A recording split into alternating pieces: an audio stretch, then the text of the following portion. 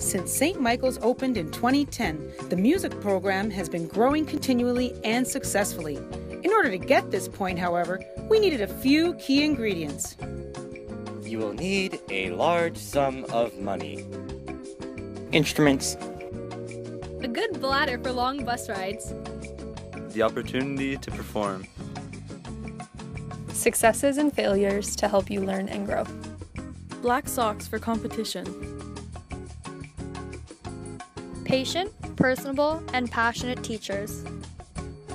Trips, field trips, overnight trips, trips on a bus, trips. Band and vocal competitions. You need a Frankie. And you need a Massimo. Supportive parents. A sense of motivation. Support from your community. Food to feed us kids. The chance to make new friends.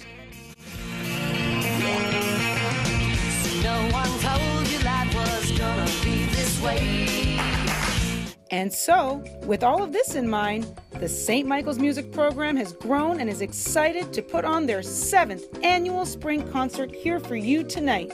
So, sit back, relax, and enjoy the show.